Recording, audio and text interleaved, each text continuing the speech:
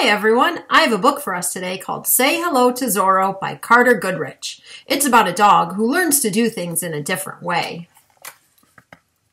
Mr. Bud had it pretty good. Everything was just right. He had his own house, his own bed, his own toys, his own dish, but most of all, he had his own schedule, and everybody stuck to the schedule. It went like this 1. Wake up time. Okay, okay. 2. Biscuit, then a walk time. Take it easy. 3. Nap time. 4. Shift position and nap some more time. 5 wait and watch time. Six, greet and make a fuss time. Okay, okay, good boy. Seven, quick backyard time. Eight, dinner time.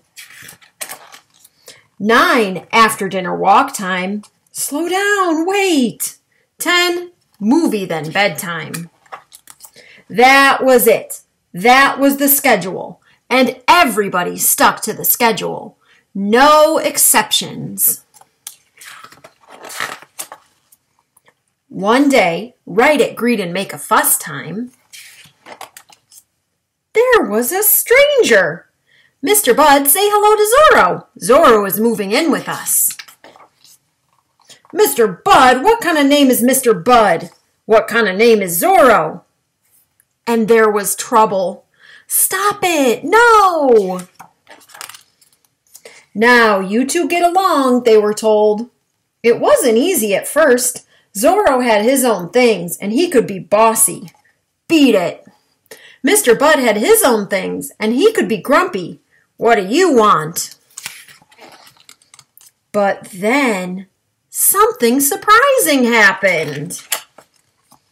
Mr. Bud and Zorro found out they had the same schedule. Slow down, wait.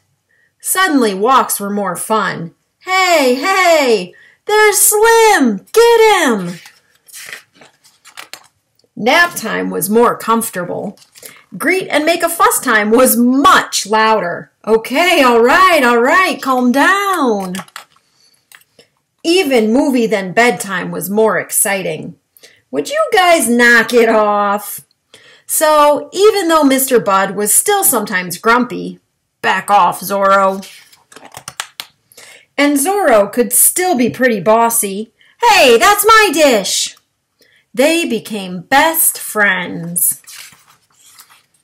And everybody stuck to the schedule. The end. Thanks for listening, everybody. Have a good day.